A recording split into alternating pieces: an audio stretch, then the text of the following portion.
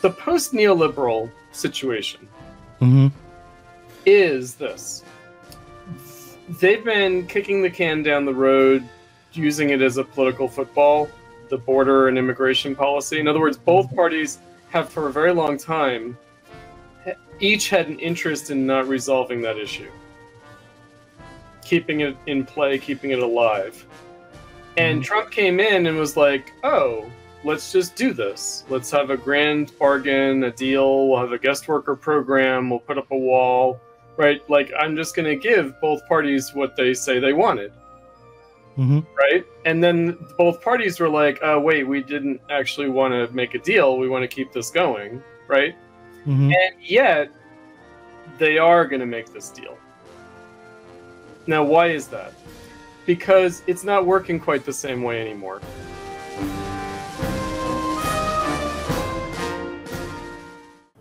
Welcome to the Control Zone. It's that time of the week or time of the month again. Uh, with me today is everyone's favorite track coach, the last Marxist genius, Chris Cutrone. Um, we are going to be discussing post neoliberalism because uh, we're two weeks away from uh, the election, and it, it looks like we may very well really be entering into a post neoliberal moment if Trump wins, right? And it looks like, according to the polls, of course, when I tell people this, they always say that the polls I'm looking at are all right wing. Uh, but when I look at real clear polling, looks like Trump is ahead within the margin of error, but nonetheless, he's ahead. Um, so you suggested we talk about post neoliberalism. Um, what what was it that made you think this would be an opportune moment to bring it up again? Well, I think that um, you know, eight years into the Trump phenomenon, um, obviously people have been very slow. People in mainstream political discourse, but also people on the left, have been very slow to recognize the significance of Trump. That seemed obvious to me from the beginning, and um, and also to others like Boris Kagarlitsky. There was an article that we published in the Platypus Review. Um, he had two articles, one on Trump and one on Sanders, and he had a kind of a spurious um, analysis, to my mind, to some to some degree about industrial capital and finance capital. But anyway, there was this idea that um, Trump represented a different faction of the ruling class. That's one way of thinking about it. And uh, you know, so I think that people have had various ways of trying to address this, but I was thinking about it more historically. You know, um, meaning not like this faction versus that faction, because I think those arguments are tenuous at best, um, but rather this historical moment, especially as a historical moment for the millennial millennial left, like the the you know post Great Recession, post War on Terror. You know, if we think about the things that define Trump, I think that the reason that people have had such a hard time acknowledging it is because the Democrats refuse to countenance it. Meaning, the Democrats don't want either a new economic nor a new foreign policy. And that's been clear since Obama. Right? So, post neoliberalism, as you know, using neoliberalism as a kind of a broad category, you know, we could also call it post neoconservatism, post evangelical Christianity, something, right? All these things. And, uh, you know, and Bernie and Trump as twin phenomena. I feel like the Democrats refuse to acknowledge that there's anything wrong with their domestic or foreign policy. And they refuse to acknowledge that um, Trump represents something more than himself and the worst of the Republican Party as conventionally understood. That he's like a hyper neoliberal, that he's a hyper social conservative, you know, it's like a hyper Reaganite. You know, an ultra Reaganite, I should say, not hyper, ultra Reaganite. Not not like a meta Reaganite, but like a extreme Reaganite. And you know, to me, it was obvious that he's not that, and that it was impossible to think of Trump outside of the historical moment, right? And as a post-Obama phenomenon. And so then the question is, well, why were people discontented with Obama? because he failed in both economic and foreign policy in a way that he had promised and didn't deliver. It's very straightforward. But people, you know, to this day, you know, like Ben Burgis will say, oh, well, Trump is a warmonger. And it's like, okay. But relative to who and what do you mean? Especially because he really did try to withdraw from all the wars, and we know now that he was sabotaged. No, he's actively sabotaged, and this is the real hostility to Trump at some institutional level. Right. In, in in 2016, if you watch Trump during the primaries, he did this thing where, on the one hand, he would tell Jeb Bush that um, invading Iraq was a, a, a, huge mistake. It was a whopper of a mistake. Um, that, and based that, on a lie. And Meaning based on a lie. Not only a mistake, it was wrong. Right. And um, it was a stupid mistake. And that it and also that George Bush did not protect America from terrorism. In fact, he was defined by his failure to protect the United States from terrorism. What was 9/11 except that failure, right? Mm-hmm. And um, and you know he, he called the whole system corrupt, and he asked NATO like why why aren't these NATO countries pulling their own weight more and things like that. But at the same time, he would say, you know, if we're going to go into a country, we should get something out of it. Why didn't we steal the oil? Why yeah, we, transactional. Right. Um, and uh, he was very bellicose towards Iran. He seemed to be um, willing to fight with China. He was anti-China. Had this kind of mixed message on China, but but um, and he was barbaric in the way in which he spoke, and the and so direct and uncouth that he seemed like a warmonger. See, to my mind, what's barbaric is Obama, and uh, you know that whole like smooth way. You know, it's what I cite. You know, Samantha Power saying, you know, we wanted to reform U.S. foreign policy, but then we learned the wisdom of continuity, and that's much more barbaric than anything that Trump could ever say. I agree with you. I agree with that you. That was clear I'm... to me in 2015. Right. Yeah. Okay. And so it took some of us a little longer because it just because because you didn't want to uh, believe. Uh, what did no, I seriously? You didn't want to believe that Trump could be anything but what the Democrats told us. Right, and we had Bernie. Right, yeah, Bernie, and of course Bernie. Bernie was a better choice than Trump. Sure. It, it seemed like, and I'm not so sure, but it seemed like it. At least at some level. I mean, you know, sh- I mean, I can grant that. What I'd also say is that Bernie would have been less effective. Right. In other words, would Bernie have been able to pull out of the war? I mean, the problem is that Bernie, as an anti war guy, would have had to prove that he's not. Whereas Trump, as someone who's like, shoot someone on Fifth Avenue and bomb whatever, doesn't have to prove to anyone that he's not a weak kneed liberal, right? And so only yeah. Nixon can go to China, only Trump can pull us out of these wars. Right. No, I, I get it now. And, and, but at the time, if, he seemed... hypothetically, of course, Bernie could have been elected. I mean, if the Democrats had let him, that, mm-hmm. that in other words, not at all. Right. But you know, I don't think Bernie would have been a bad president. Of course, he would have been a great president. He would have been right. much more competent than most. Right. You know. Yeah. Obviously, and more competent than Trump. Yeah. For sure. Yeah. Yeah. Um, no, right. I, I, but what where I'm at now is I'm looking at Trump uh, through more real. I think in a more realistic way. Like I no longer like. I think a good litmus test of whether or not you have Trump derangement syndrome is if you can watch Trump at McDonald's and find it charming. Yeah, because there's nothing there's nothing not charming about it. In other words, like to see it as like sinister, it's like well, of all the things that Trump does, this is the least sinister thing. You know, but like the seething hatred, you know, that people have, they're like, he's not wearing a hairnet, he's a walking like health code violation. And it's like, well, actually, they don't make the fried cooks wear hairnets, turns out. Right. But anyway, I mean, no, exactly. I mean, I think, I think, you know, because I'm encountering this a lot in the last year. People who had questions about what Chris Cutrone has been saying, and somehow the scales fell from their eyes in the last year. I think it took a Biden administration to convince people. That's a damn shame because how many like okay, four years, four years, like do you know what I mean? Like we're we're wasting world history here. Right? I mean, we could have said eight years ago, you know, Trump's not a fascist and fuck Obama's such a failure and the Democrats are so complacent that they deserve to lose to Trump. And I did say that Trump wasn't a fascist, you know, but it, it's one thing to say he's not a fascist, and it's another thing to really say, you know what, he's not even outside the spectrum of the norm.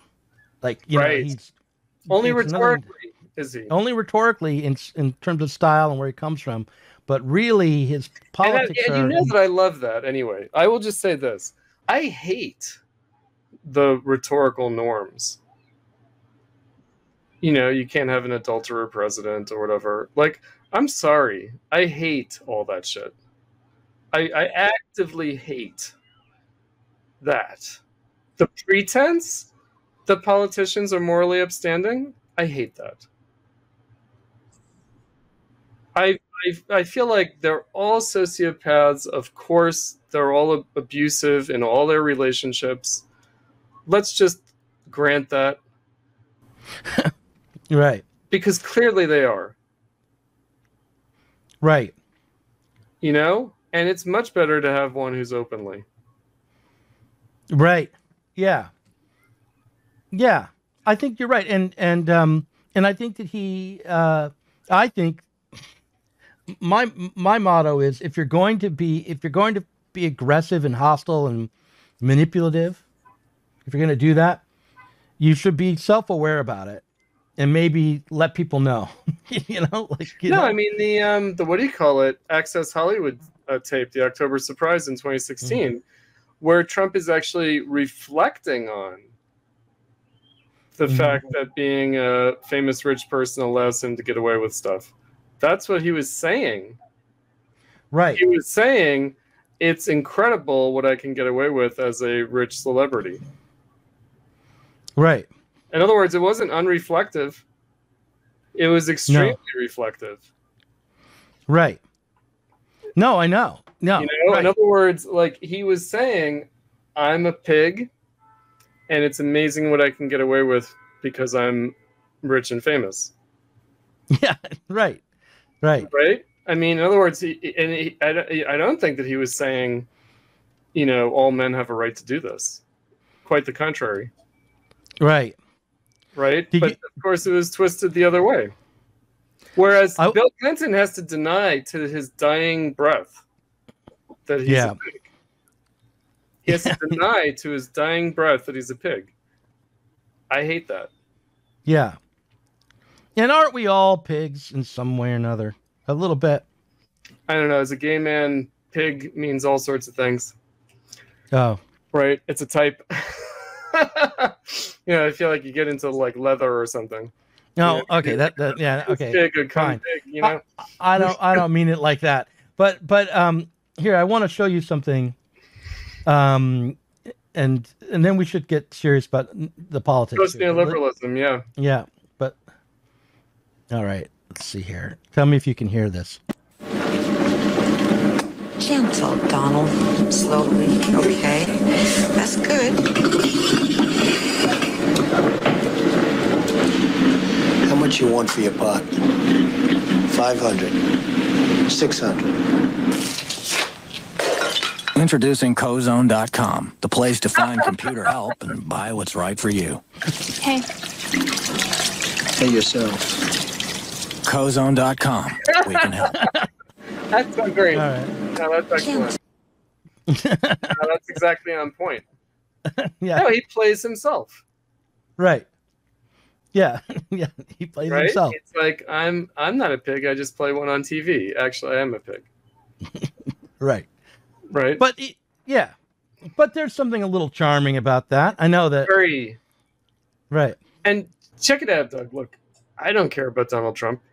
Meaning, I didn't give a second thought to Trump until he ran for president. and then I realized he could win. He could win the nomination and he could win the presidency. And I don't know how many people saw that right right up front.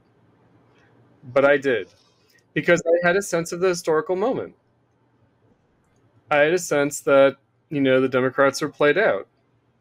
You know, it was a disaster. I mean, look, Obama was a failed president profoundly. Libya, Syria, I mean, Syria, like in other words, like Afghanistan and Iraq were bad. But it turns out it only gets worse. Right. Yeah. You know, so this is the guy who was supposed to fix it. Made it worse. And okay, so that's that. And then the economy, right? So again, in our, in our day, do you remember domestic and foreign policy? Do you remember? I don't know. The people don't talk about that anymore. I guess now it's like economics and war policy or something. Right? It's much worse because not even foreign policy. It's just war.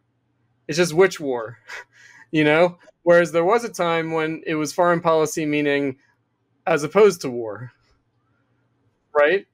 And, you know, the two parties would compete, presidential candidates would compete on their domestic and foreign policy programs and the public's like credibility regarding like okay who do you think will do better on foreign policy? Who do you think will do better on domestic policy? Right? And now right i just feel like okay it's much more degraded but you know by by those old criteria that i was raised on that we were raised on our generation George W. Bush and Barack Obama were abject failures in a way that Reagan and Herbert Walker Bush were not. You know, you have to go back to, to Jimmy Carter. Yeah, and it's hard for people on the left to, to hear that second point, right? Um, uh, and this is this speaks to the being a post neoliberal moment, and the really the big thought taboo that you're floating right now. You sent me um, a couple of links to uh, some articles in B- business magazines, Business Insider and mm-hmm. uh, MSN.com's Money Market mm-hmm. page. And they're both about how it turns out maybe all the people who were saying Biden did a good job are not exactly wrong because, in terms of GDP growth, the United States is leading the world. Yep. Um, it's not yep. China.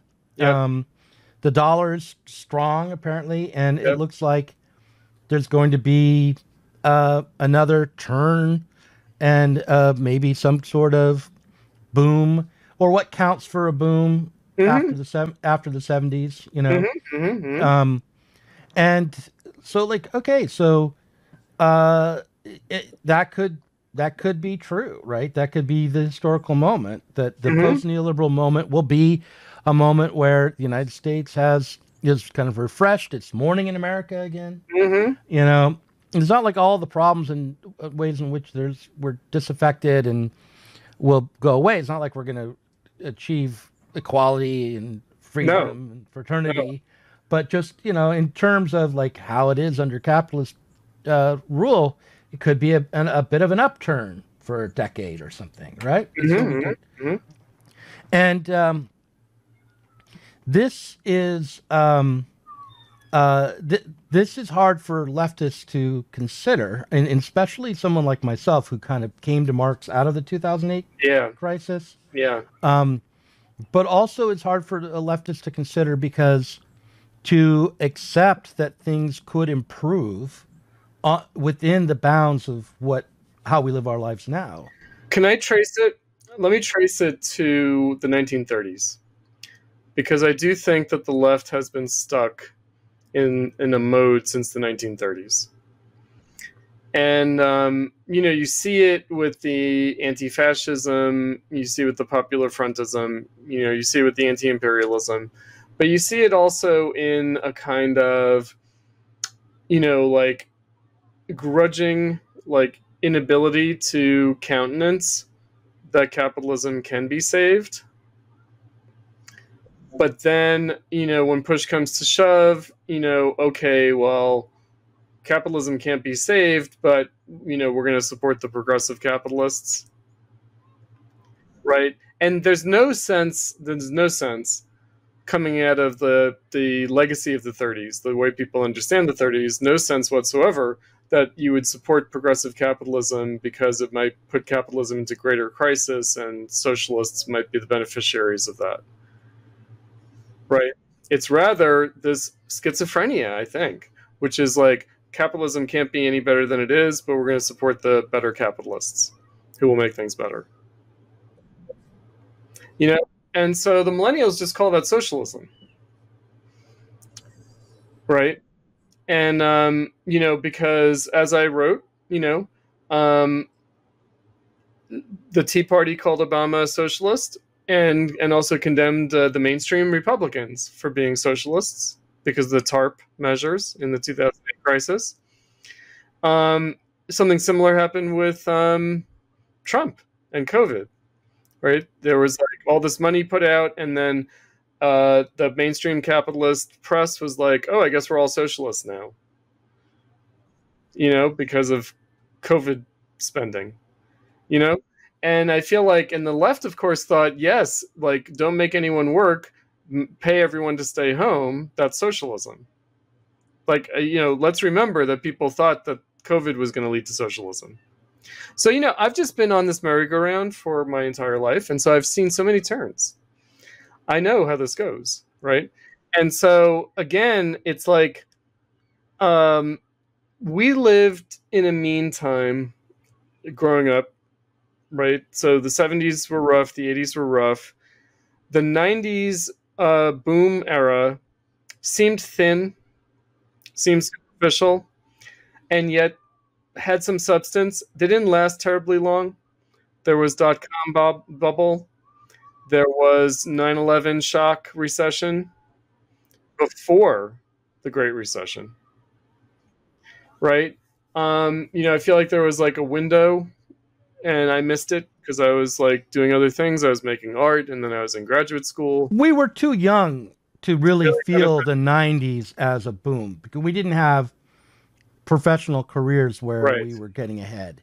I was in my early 20s during mm-hmm. I was mm-hmm. in my 20s and I was trying to avoid being an adult throughout all of the 90s. So like mm-hmm. I didn't, you know, I didn't feel it. But people would tell me no the 90s are an era of, of opulence. Everyone's a consumer. This is no one's on the left anymore in the 90s. Oh, sure. Absolutely. And and and the 90s had, you know, definitively disproven Marx economically you know, also in the shadow of the collapse of the Soviet Union, you know, because the Soviet Union supposedly disproved Marxism at the level of economics. Right. You we know? were in the information economy. Oh well, there's that too, right? We right. we didn't need to worry about labor anymore. It was right. post-industrial, you know, which is they've been saying for a long. Time. It was the service economy. It was the information economy. Yeah, it was the post-physical economy, which people are still kicking on about. Mm-hmm. Right. Um, you know, like physical production is male. Mm-hmm. Remember, physical infrastructure is male. Oh human, yeah, you, you don't mean coming in the mail. You mean M-A-L-E. Yeah. Yeah. You know, um, you know the care economy. You know, human infrastructure, all this stuff. You know, whereas I just see it as abject exploitation. Um, you know, but but no, we were sold a bill of goods on all this stuff. So, in any case, nonetheless, nonetheless, when the Great Recession did hit, it cast preceding history in a different light. Because, in fact, it was worse than the 80s, which were pretty rough. The 80s were rough, but the Great Recession was worse. And it was worse in some ways than the 70s.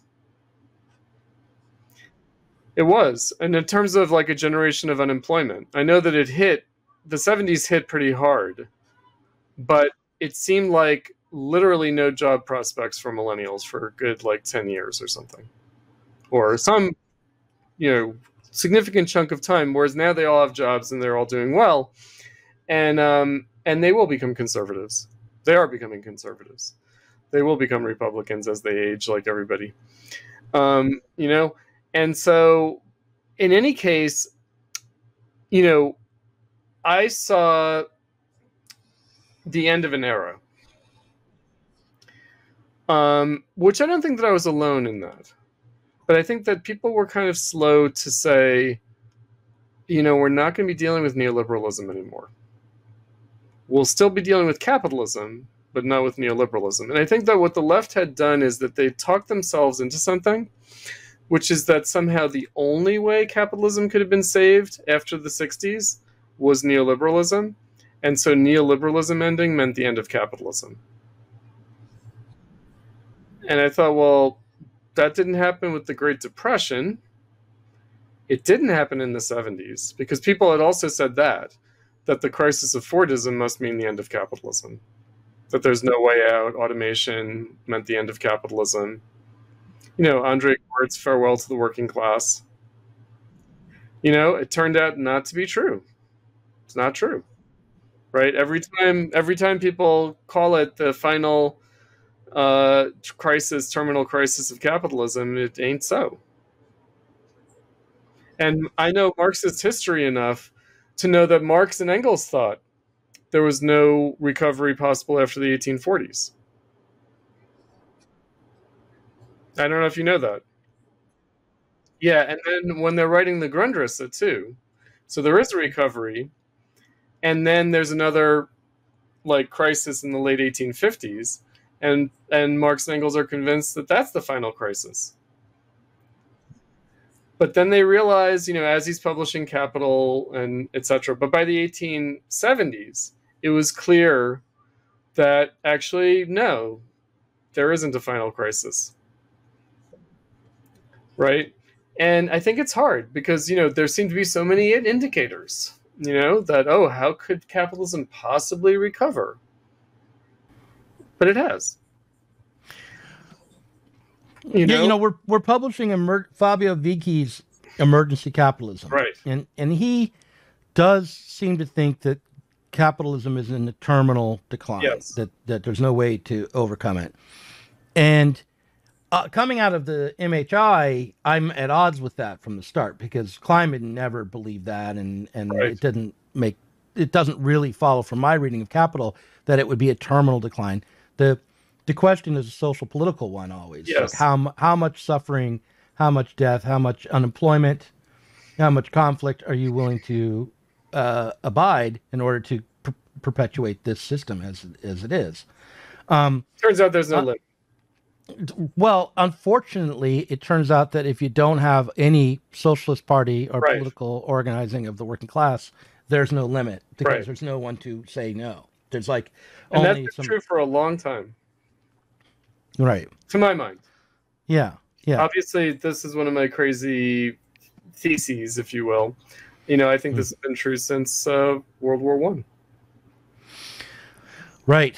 Yeah, that is a long time, and it and to think in that time scale, it gets easier as you get older. I think, but um, Somehow I knew that though. I think that the attraction of tr- the the two most controversial things, Trotskyism and the Frankfurt School, was was an awareness of this, meaning oh, Marxism never did recover. I mean, also the way I understood Stalinism, I didn't think Stalinism was the wrong kind of Marxism.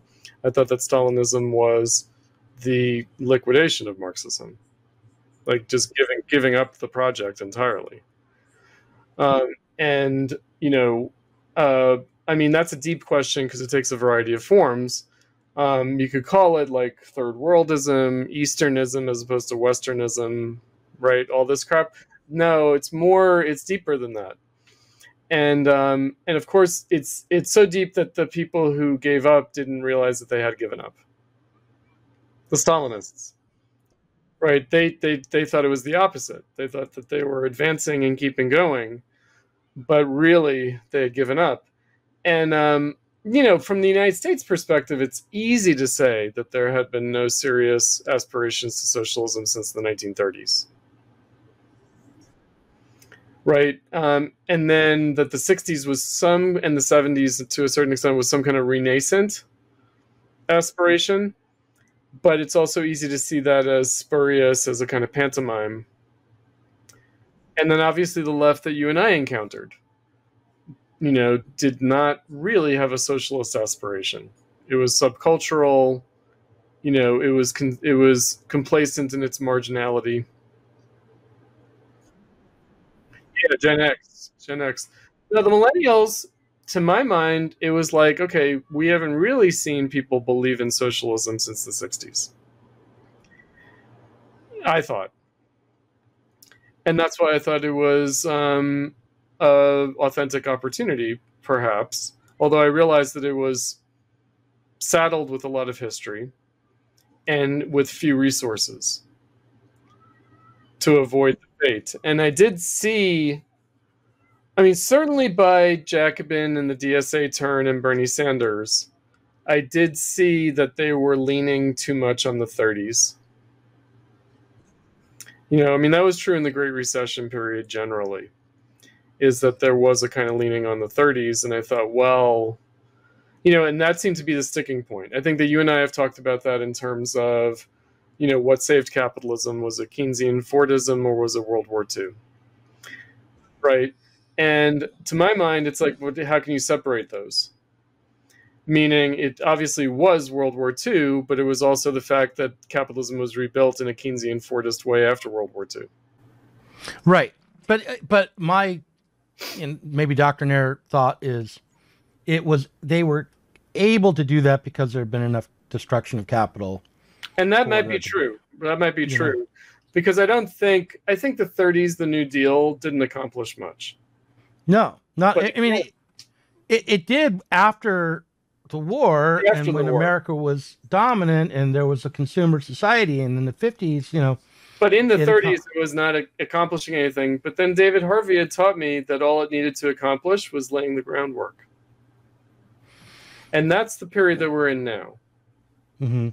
In other words, it's not like, oh, is Trump going to turn it around? No, it's the groundwork that's being laid. Mhm. Because you don't see the benefits. Like I was thinking about this before we spoke today about Harvey's condition of postmodernity. That's the one Harvey book that I'm very fond of. It's, it's a very long process. Like Fordism took a long time. Like the introduction of the Model A or Model T, I forget which one it hinges on. Model T, and and Fordism as a full blown system is like 40 or 50 years practically you know it's like what is it 19 I don't know. When, did the Model T come out? it's early you know in other words like ford has this idea but it's 1908. yes when the Model T. 1908 and so 40 years later is when you start to get the payoff 1948 Yeah. and not even Yeah. right then really it's the 50s so we're we're in that we are in that time scale in other words we got to be thinking like that meaning like neoliberalism didn't pay off for a while Right. It took from Carter to at least the middle of Clinton Clinton. for it to kind of and that's almost 20 years. Yeah, and then, but the thing is, and then that it didn't last very long either, right? but if you look but- at it in terms of the cybernetic revolution the information age automation Mhm. that starts in the 60s and it doesn't Right. fully flower until recently Yeah, that's true. If you think of it just in technological terms, and rather than in the political economic terms, because But these things are connected, right? So policies affect the implementation of technology. Technological resources affect policy choices. yeah, You know, I think Right. one of my articles is on, you know, the we're all Friedmanites now. I point to the irony that um, Friedman, one of his first jobs as an economist, coming out Mhm. of World War II, causes him to say, "Oh fuck, automation is really going to mess with capitalism." hmm that's in the late 40s and it doesn't really hit until the late 60s right, but he's prepared for it. In other words he's starting to learn the lessons of that starting in the late 40s and then he comes up with his economic gospel that people are like what the hell are you talking about and then in the late 60s it's like oh you might have been onto something but then his policies are only taken up in the 80s Hmm. Yeah, that's right, and and and um and not in their full on their fullness. fullness. No, it's but you see, so this we're, it takes a long time. It's a painfully slow because part of what we're dealing with is capitalist politics and Yeah. institutional inertia, political inertia. You know, there's a lot of resistance to change, and there's a lot of resistance to acknowledging change. You know, people do it before they acknowledge it. Mm-hmm. I want to show you something. Look at this. Mm-hmm. That's um, a movie still. The movie is Desk Set, starring Katherine Hepburn and uh, Spencer Tracy hmm from from 1957. hmm It's about gender politics and and digital, uh, the introduction of the digital, and uh, the way in which the, the introduction of the digital is empowering Women, to women. You know, sure. um, so like Spencer Tracy comes in as sort of like the old-fashioned businessman has to deal with these computers and these women in his office. You know, uh, These and new that's workers 19, and their gadgets.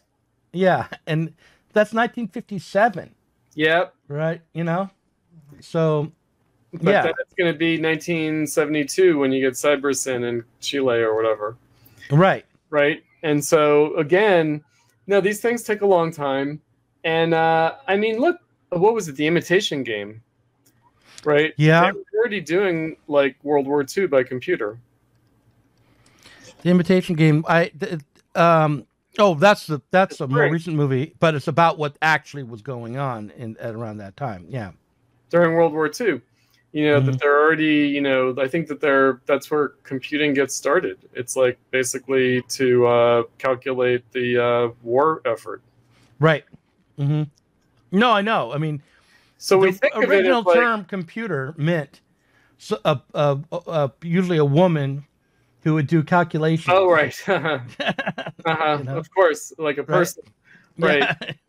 But like you know, the transistor-based uh, computers as opposed to the uh, chip-based, right. right? Because chips come much later, and you know they had like the punch cards, they had all that stuff, like programs Right. via punch cards, and you know, but th- they were doing it. All that we've done is accelerate it, right? And of course, Mhm. quantity becomes quality. Okay, Hegelians, but you know, again, like we think that this stuff is brand new. It ain't. You and I had computers in our schools. Did you? We didn't did. you? We did. Right. We did. Mhm. The trash '80s. Do you remember the T- 80s? The trash TSRD. 80s? Yeah. Yeah.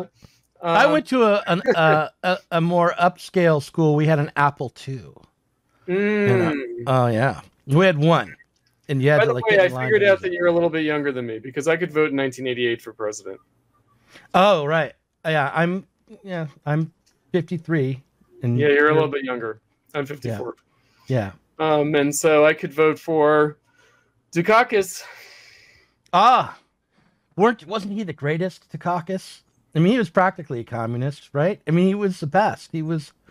I, I, uh, I can't even tell you, Doug, whether I did vote. I think I did. I think I got a mail-in ballot. I think I voted from Hampshire College in 1988 for Dukakis because I just felt obligated out of anti-Reaganism. yeah. Um, but then I did not vote for Clinton in 1992. I didn't I vote. didn't. I didn't vote for Clinton in '92 either, and would have voted for Dukakis if I'd been old enough. Um, I liked Dukakis because I was made sick by Reagan's um, Cold War uh, mentality. Me too. It's, No, you know, I, I really, I really, um, you know, I mean, the Reagan years and the Second Cold War were formative for me, very formative. And you know, I sympathized with the Cuban officer in Red Dawn, who is like, you know, this is not the way you put down an insurgency. You know, the Wolverines. And um, you know, but I sympathized. I sympathized also with the French officer in Battle of Algiers too. So I don't know what's wrong with me. You know, the guy who's like smoking outside the apartment complex that the French troops blow up to kill the uh, the insurgents. Um, you know, and he's just like, yeah, you know, maybe they are just like we were. We were against the Nazis. Maybe they're against us the way we were against the Nazis. But you know, I'm going to blow up this building anyway. And um, you know, I there was something right? And uh, so in, in Red Dawn, you know, I was sort of, you know, horrified by the idea of like being in class and having like Soviet paratroopers come down and shoot my history teacher in front of me or whatever. You know, do you remember the opening scene? Oh, look, I when, I was I do yes when I was um in high school, one of my friends was an extra in that scene. Oh, great. Yeah, so like yeah, it was filmed in Colorado in part, right? And, oh, yeah. uh, hmm Oh, check it out. All right. Look pretty cool though, man. I would say they were way off course.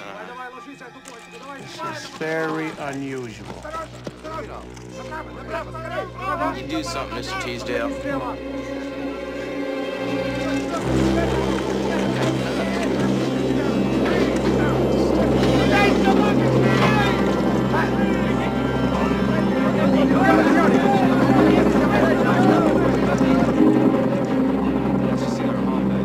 George Ellis! George Ellis! my friend?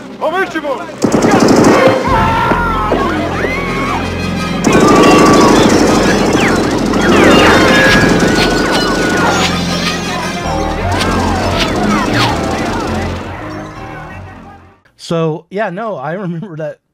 I remember So that I was, well. you know, very counter-identified with the U.S. in the Cold War. I was very Mhm. anti-imperialist. I was very pro Central America, very pro ANC in South Africa. I was into all that shit. I look at it differently now. I do because I do see the Stalinism, Mhm. and um, you know, and and I knew about it at the time, but I saw it as some kind of like I don't know what, like tragedy of the human condition or something Mhm. you know um, i mean i do write about this the the fact that you know the south africans living in new york were like oh yeah you'll never have socialism in the united states because the workers voted for reagan i knew that something was wrong with that right. right i knew Right. that something was wrong with that that didn't mean i liked reagan Right. but i knew that there was something wrong with that so you know i What did you think it? Well, what what was wrong with that?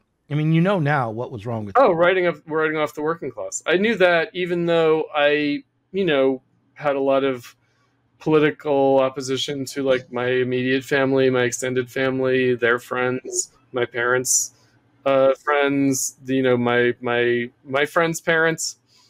You know, um, I definitely grew up in a white working class suburban, very Republican Party, Reagan Republican Party you know they would have they would have shifted in the 70s from the democrats to the republicans. Right? Um, they would have had some angst about carter and then happy to vote for reagan. You know um, not my immediate parents though actually they didn't like reagan. But um, but that whole milieu and i i just hated it. I did and i counter identified with it. But i also had the sense that you're not going to change society without these people Did did the left miss an opportunity when Reagan was elected? Was there an opportunity there was in the morning in America that that working class socialists could have taken advantage of? Um, Perhaps. I mean, I think that certainly, like, neoliberalism was a missed opportunity in the sense of seeing new possibilities in the new configuration of capitalism rather than trying to fight it off. Right? Hold back the tide of history. Um, so, you know, uh, the left being on the defensive, starting in the 70s, really you know, um, you know, I think there was a more radical '60s moment where people understood, look, there's a problem with existing organized labor. And then in the 70s, there was this idea of like, yeah, there is a problem with existing organized labor, but first we have to defend it before we can reform it. That's what people think now. But then when organized labor was clearly defeated, and also a lot of like union members voted for Reagan. It should have been clear oh, maybe the task is to reorganize labor on a different basis. And the fact that the existing labor unions are in the pocket of the Democratic Party is not only a problem re- regarding the Democrats, it's a problem with these unions too. Right? And I think that that's, you know, in other words, the task is daunting. right? But it's like they, they it's almost like this.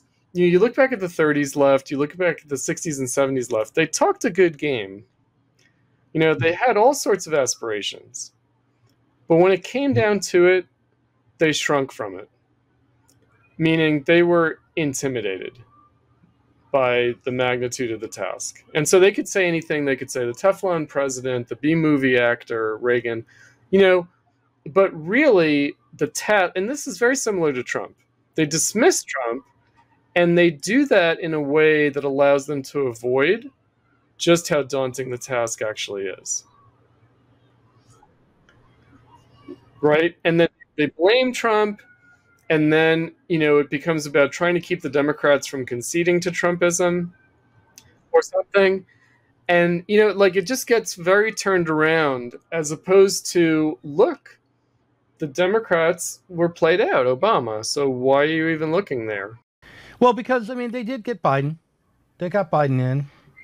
They but that Biden- was but that has been such a fiasco, not just in terms of his governance, but also in terms of his political campaigning this time around. I mean, you just think about.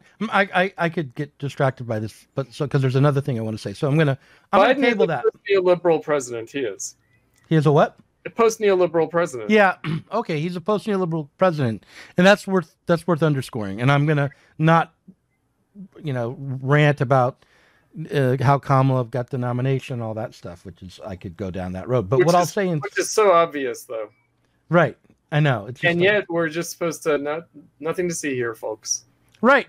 I it just I mean, look, we are living through a time of complete denial, double speak, double think, memory holing. It's very Orwellian. It's very Brave New World.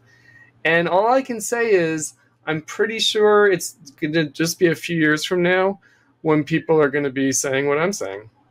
Oh, I, I, I you know, I, I'm optimistic, and I think you're right. I mean, look, I think it's already the case that people that you can say things now, even as things are being attempted to be memory hold and suppressed, that three, four, five years ago you could not say. Right, that's true.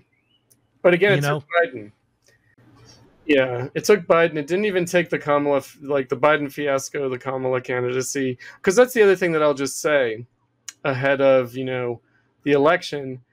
If Kamala loses, everyone's going to be saying, what were we thinking choosing this woman? It's going to be so obvious in a way that Hillary was not a mistaken candidate the way Kamala just is. Right, right. No, I mean, look, you yeah, know I agree. just clear you know like and and hillary was was lame too but, I like Ka- I like Kamala more than I like Hillary Clinton. I, I mean, as a person, I that kind of speaks in favor of hillary though right should we like these politicians No, probably not. But I can relate to Kamala. I can figure. I can see myself like, oh yeah, how would you handle being put into this position where you have to? oh well there's that where you have to scramble you have to make the You best have, you have no answer for any of the reality is so absurd, and you're just supposed to stand up and talk about joy and and deny. see i find it creepy i find it hard to identify with that because i find it creepy in other words there's a shamelessness at work and it's not biden it's not biden actually but it's the biden administration there was an utter shamelessness to it all that was not the same with trump. It was not right? In other words people think oh trump's like this malignant narcissist shameless and you know like just post fact post truth whatever. And but but, the biden administration it's been stunning i mean from covid on. You know obviously the immigration thing that they just do things and then completely deny what's happening. Like completely deny. No everything's working exactly as planned. And if it's not it's trump's fault. In other words if the covid measures are a fiasco well we wouldn't have had covid if it wasn't for trump. Which is clearly not true but i think people some people believe that. I think that the liberal like democrats do believe that somehow trump could have if if it, if hillary had been in office somehow trump uh, covid would not have hit us which is just incredible because like europe i mean just everywhere china everything you know like You know, it just you know, but they they do think that uh, the the diehard Democrats, right? And so, I for me, it's like okay, so what are people in denial about, really? They're in denial about this new historical situation that we're in. That's what they're in denial about. And you know, so I was watching or listening to the New York Times podcast, Ezra Klein. Ugh. And he's like, What's really wrong with Trump? Is it that he's too old? No, it's that he's too uninhibited. And what he said was, Oh, you know, actually, that might have been good in his first term. Maybe we needed Trump to be uninhibited to get certain things done. Maybe we did need tariffs on China. Maybe we did need to get out of these wars, right? But the problem now is that Trump is surrounded not by people who will temper his uninhibited nature, like he had in his first term, but people who are going to encourage it. And they have an agenda. They want to do things that are really bad, right? And JD Vance becomes the villain, right? Becomes the villain. And it's Project 2025 and all this crap. But what's interesting to me about all of that is that there's a grudging admission that maybe Trump was necessary, but not anymore. Like maybe we did need that first Trump term, but not anymore. In other words, there's an acknowledgement that, oh, yes, actually, Trumpism did carry forward under Biden and will carry forward under Kamala. And that's why we don't need Trump anymore. And that's a die-hard Democrat, hates, hates, hates Trump, hates like total Trump derangement syndrome, but just pinching himself and saying, you know, actually, yeah, maybe Trump was useful. Well, the other day I tweeted out. Tell me, I think I think this might have been misguided. Maybe I'm maybe I'm backtracking a little bit, but I tweeted out the task for socialists after November 5th, if Trump wins, is to figure out a way to oppose Trump without supporting the Democrats. That was the task in 2016. Yeah. Yeah. right. Um, which, which, by the way, the DSA people thought they were doing, right? They kind of. I know they, they tried to they tried to soft pedal the anti-Trumpism. They did. I will give them that. Right. I'll give them that. The DSA people tried to soft pedal it. They saw the danger of just being anti-Trump, but they also couldn't help themselves because their recruitment was based on anti-Trump. So the Jacobin people who were there before, they knew this was a trap, anti-Trumpism. They certainly knew that. But again, okay, so the way that I would put it vis a vis your tweet or your ex post is we don't have to oppose Trump at all. We don't have to oppose Biden at all or Kamala. Like, this is not about opposing. Opposing what exactly? Like, uh, opposing what and how? So, you know, like, in other words, it's not like, oh, socialists should have opposed the open border policy or socialists should have opposed the, the building of the wall, even. Because it's like we can have our opinions about these things, but we're in no position to do a damn thing about it.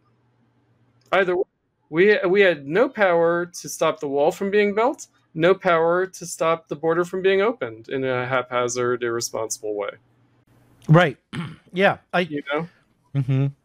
Mm-hmm. So it's not about like, okay, we need to oppose Trump, but not in a way that helps the Democrats.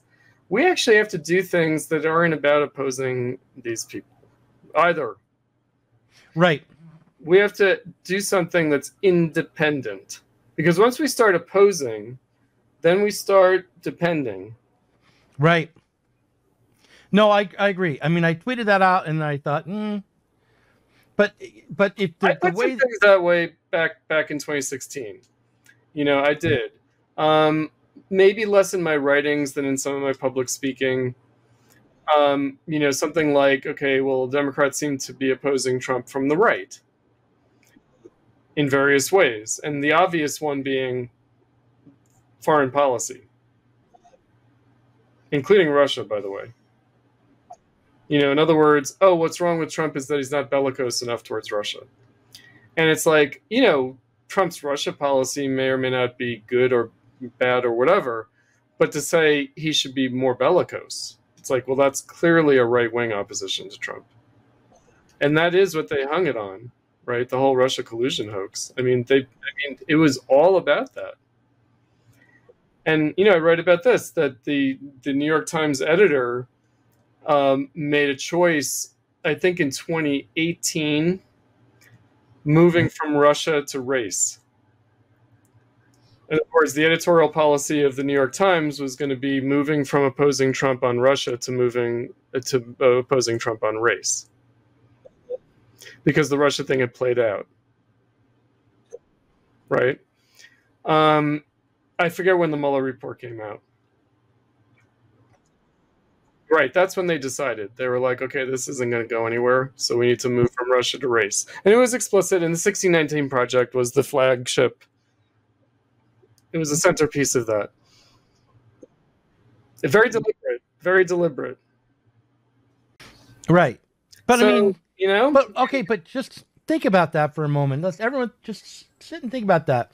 In order to oppose Trump on race, they had to claim and make an attack on the American Revolution and the United States as a country.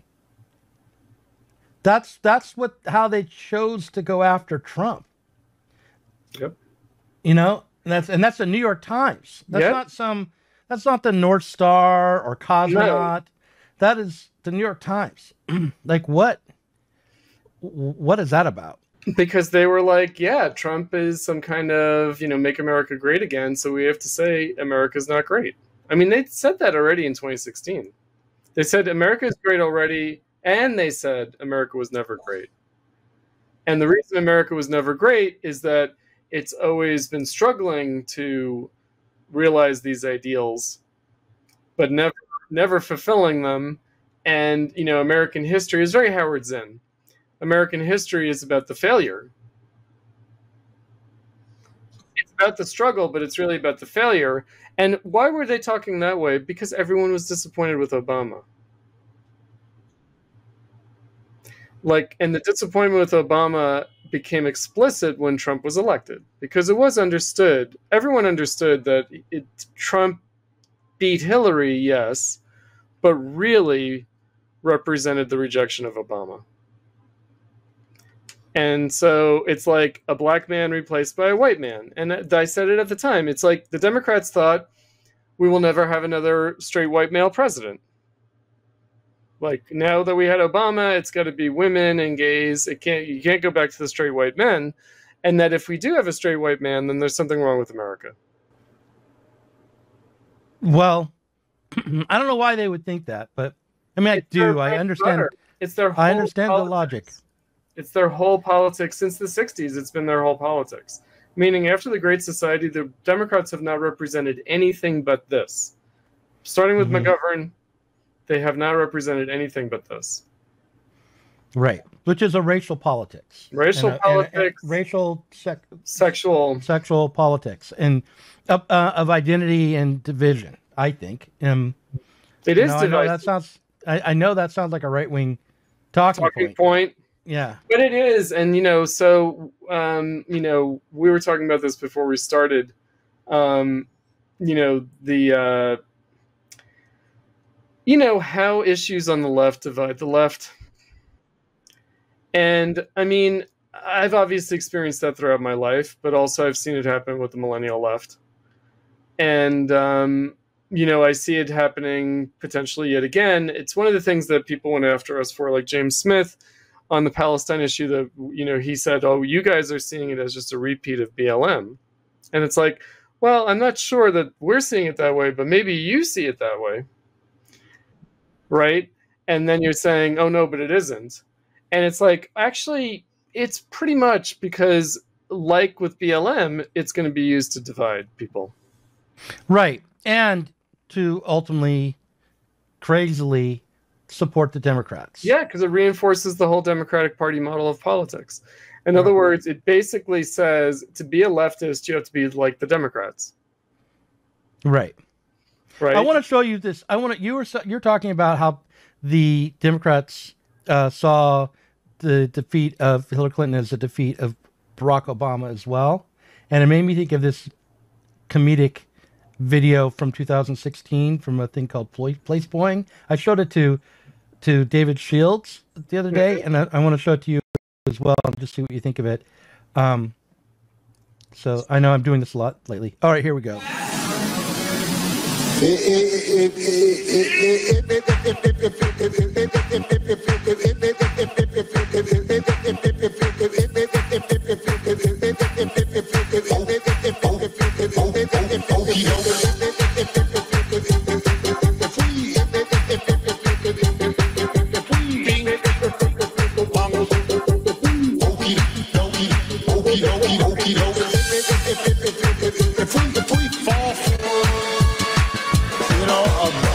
A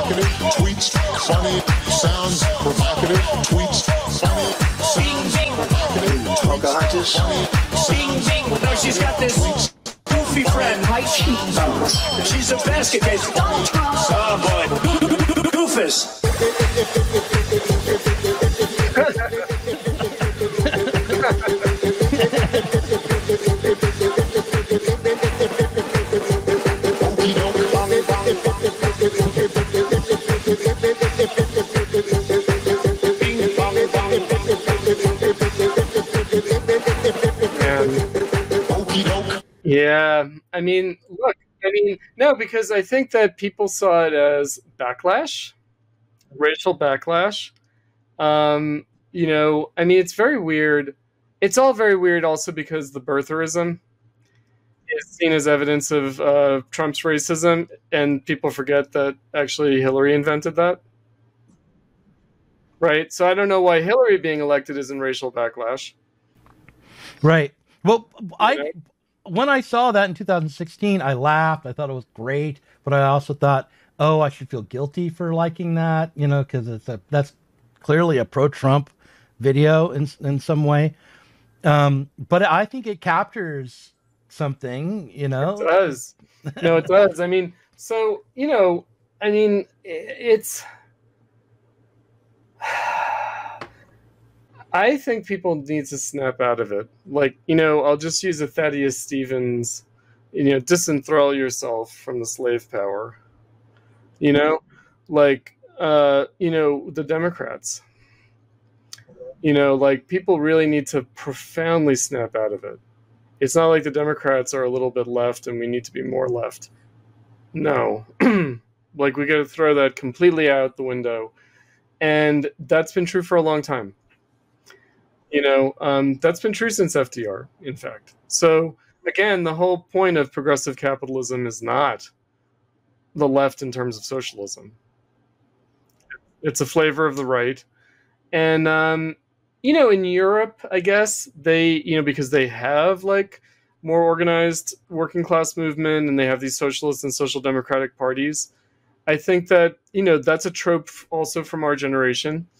The idea that, oh, well, of course there's no left in the United States, but there is in Europe. Right. And of course, from my perspective, no, I do think that the Labour Party in the UK, which by the way has sent people to, to knock on doors for the Democrats, um, and uh, no, it is absolutely true. And why wouldn't it be? In other words, it's the global Democratic Party. So after World War II, the US did, in fact, remake social democracy on the basis of the New Deal.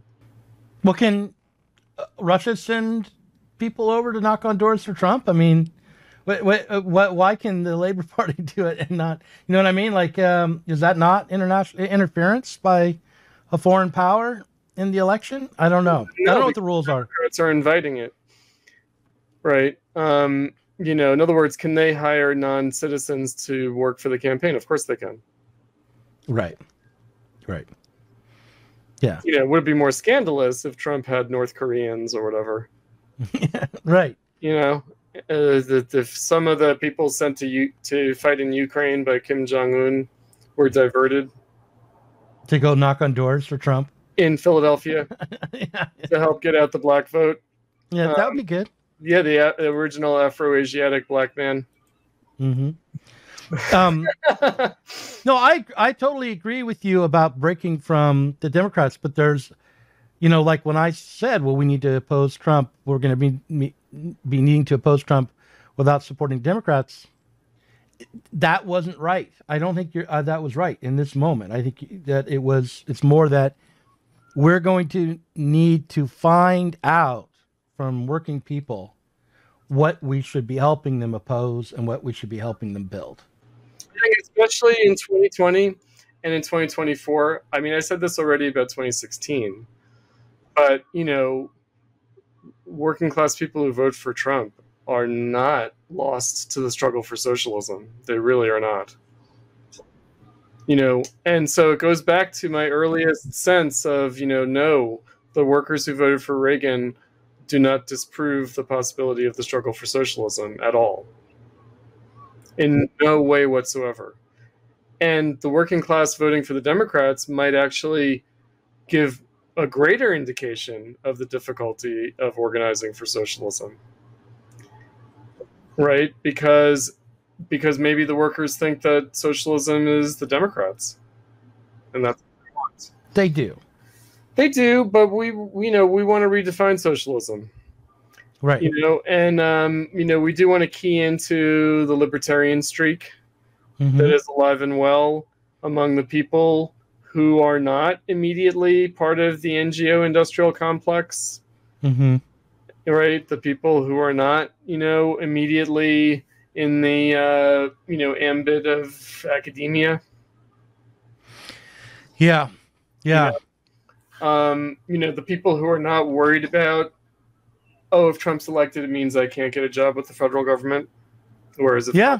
Elected i could get a job with the federal government as a consultant or an advisor or something Yeah.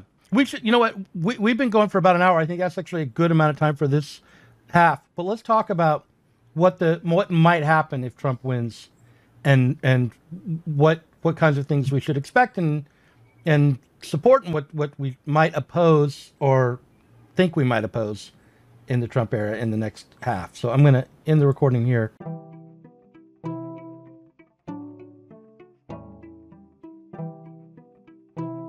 If you enjoyed this conversation, please do consider supporting us on Patreon. Our patrons help to make sure that Sublation Media can continue to provide interviews, videos, books, and articles that are critical of the left from the left. If you are tired of remaining stuck within bourgeois ideologies and politics, help us sublate them both.